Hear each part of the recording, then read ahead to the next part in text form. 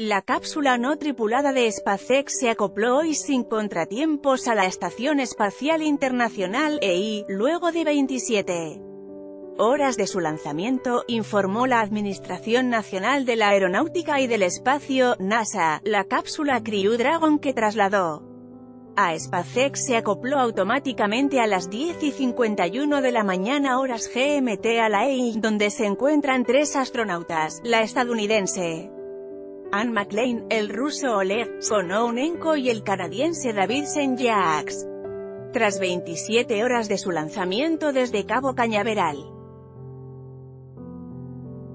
la cápsula llegó a su destino con unos 180 kilos de provisiones para los tres astronautas de la EI, la Crew.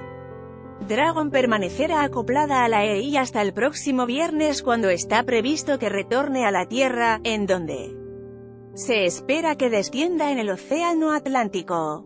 El objetivo de la cápsula SpaceX es probar el envío de vuelos comerciales espaciales El objetivo de la cápsula SpaceX es probar el envío de vuelos comerciales espaciales con personas. Elon Musk fundador de SpaceX, confirmó el viernes pasado en su cuenta oficial de Twitter que, si el vuelo de prueba de Dragon sale bien el próximo mes, dos astronautas de la NASA viajarán a la Estación Espacial este verano, Boreal.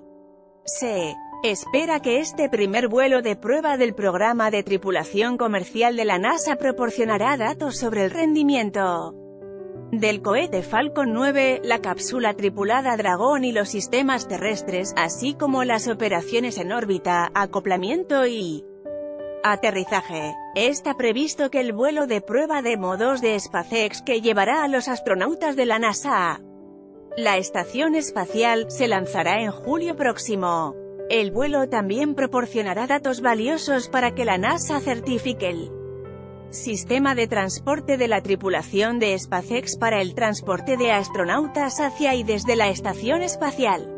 Esta es la primera vez que se lanzó de nuevo desde territorio de Estados Unidos una cápsula de tripulación desde 2011.